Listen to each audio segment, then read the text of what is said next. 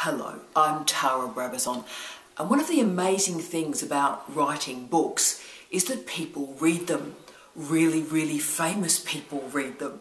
And this year, 2015, I published a book titled Enabling University. And a very special reader, a gentleman by the name of Professor Goggin at Sydney University, read that book. It was about the best of what a university can be, that we can enable guys and gals, men and women with impairments, we can make our universities better, stronger, and more socially just. And Professor Goggin read that book and said, We'd like you to come and do a talk. So finally, I'm coming to do a talk. So at Sydney University on the 19th of November, I'll be delivering a seminar. And I'm thrilled by the invitation and I'm really looking forward to seeing you all. But I thought, will I do a paper on the book in and of itself? Or should I do another type of seminar that explains why the enabling university may not occur? So, who and what are the enemies of an enabling university? Well, ladies and gentlemen, zombies. Zombies are the enemy of an enabling university. So the presentation that I'm going to deliver at Sydney University is titled Don't Fear the Reaper.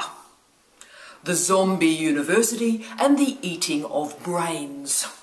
So I'm going to be combining zombie studies and higher education studies to look at exactly what is happening in our higher education sector, the enemies of good and strong higher education, what is going wrong in our universities at the moment. So it could be quite a controversial and an interesting seminar. So I look forward to seeing you there. But that's not all.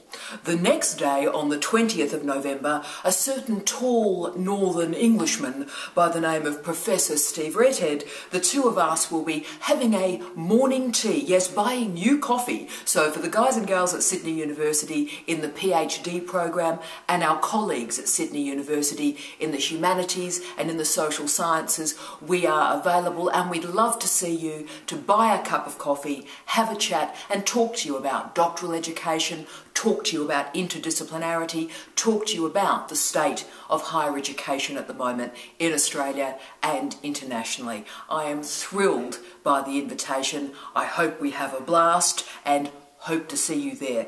19th of November, 20th of November, and yes, probably bring some weaponry. Cheers. See you there.